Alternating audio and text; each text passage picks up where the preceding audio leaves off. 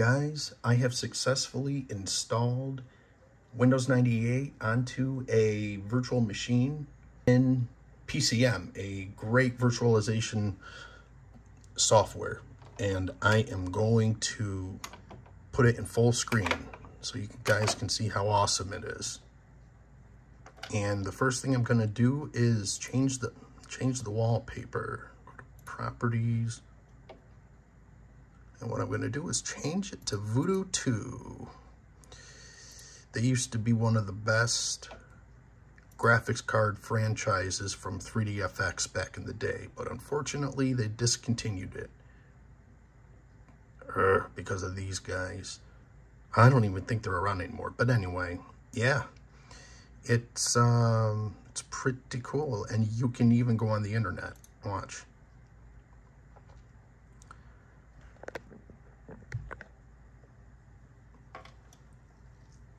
Yeah, a lot of the web pages will not display properly or display at all for that matter because it's so old, but I know a website that will work 100% of the time. Just to show you guys, Windows Update Restored. Um, yeah, I mean, this is a website that basically acts as a repository for Windows updates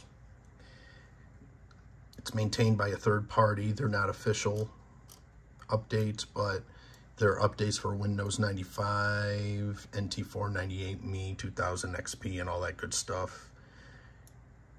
These guys basically, the database is basically a whole bunch of lost drivers and support software. So, yeah, I haven't downloaded any of them yet, but when I do, I'll be sure to do a video on it. So yeah, I mean, that's, you can reach the internet within this virtual machine.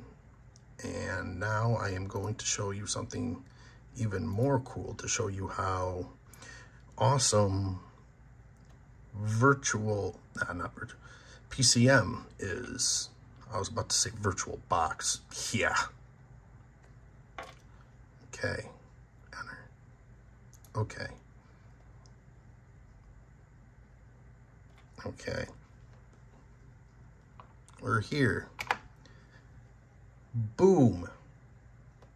You have a BIOS, a real BIOS on PCem. It supplies you with a whole bunch of motherboards for your selection, and each motherboard, each virtual motherboard has its own BIOS, obviously. Whereas unlike VirtualBox, where it just has its own generic motherboard and a, so-called BIOS, which, whatever, it's crap.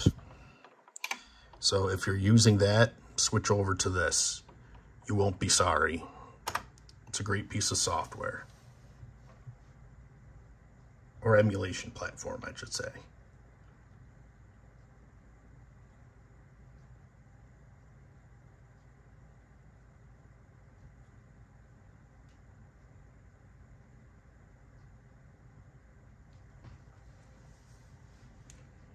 Do, do, do, do, do.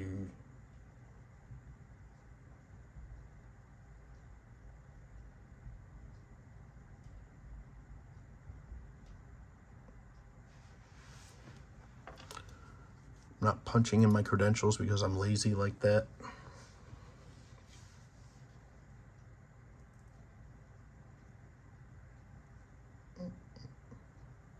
It's not going to boot fast within 15 seconds.